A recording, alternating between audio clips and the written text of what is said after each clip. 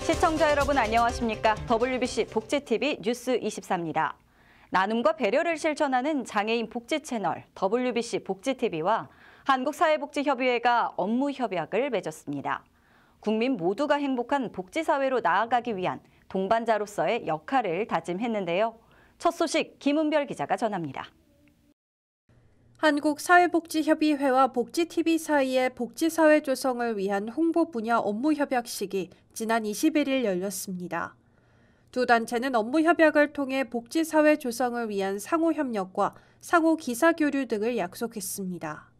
한국사회복지협의회는 복지TV와의 업무 협약이 한국사회복지협의회의 목표를 실현하는 데 큰 도움이 될 것이라고 밝혔습니다.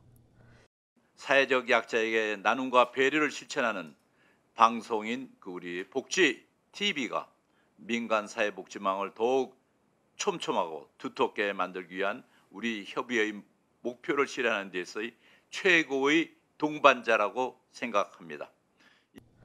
또한 두 단체의 업무 협약을 통해 복지 사회를 위한 시너지 효과를 낼 것을 다짐하기도 했습니다. 이번 어, 협약을 시작으로 협의회와 복지TV는 복지 사회를 조성하는 데 더욱 시너지 효과를 발휘하며 서로 발전해 나갈 것이라고 다시 한번 확신합니다.